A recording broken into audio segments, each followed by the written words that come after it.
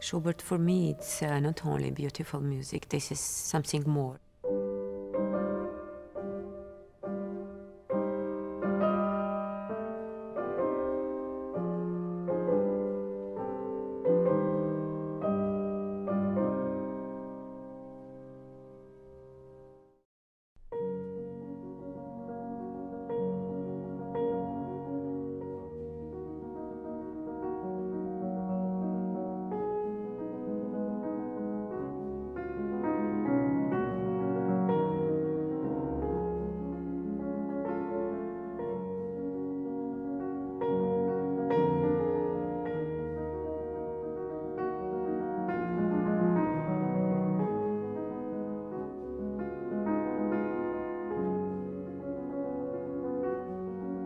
Before I play, I am full of Schubert. I mean, I, I am full of this music, and uh, I, I, try with my fingers and with my feeling to create something uh, which goes uh, in this emotion, and very deep and very dramatic and very tragic.